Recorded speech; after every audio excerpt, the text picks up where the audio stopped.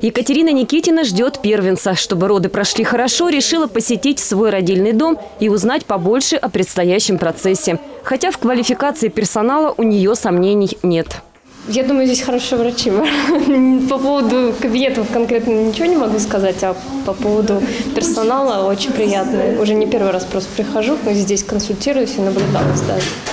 Два раза в неделю для будущих родителей в Одинцовском родильном доме проходит День открытых дверей.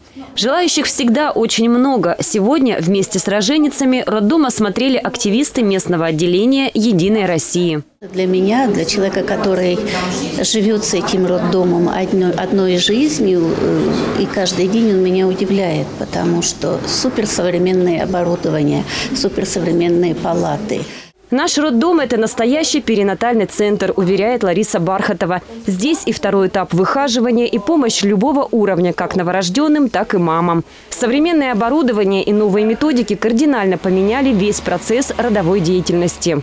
Женщина беременная поступает сюда в родах со схватками, с излитием вод, да, и переживает все три периода родов в этом родзале.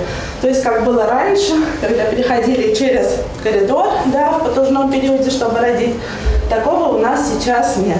У нас есть кровати-трансформеры, да, где вы переживаете первый период родов, где вы рожаете.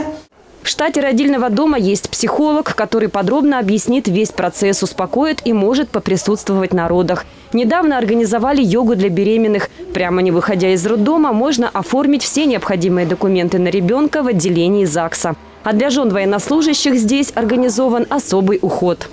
Жены военных, когда будут поступать, они просто говорят, что у них э, муж военнослужащий, да, военнослужащий. Мы э, этот, предоставляем им палату э, повышенной комфортабельности, да. Они лежат отдельно с ребенком.